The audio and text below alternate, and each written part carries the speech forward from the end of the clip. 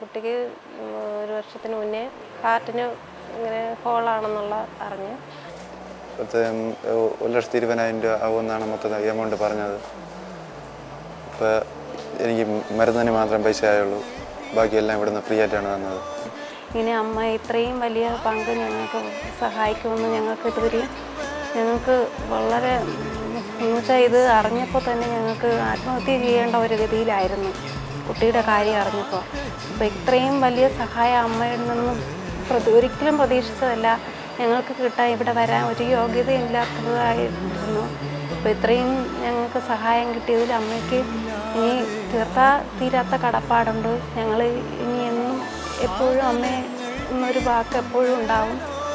അമ്മ ഇനി കാണാൻ ഞങ്ങൾക്ക് കഴിയണേന്ന് ഞങ്ങൾ പ്രാർത്ഥിക്കും.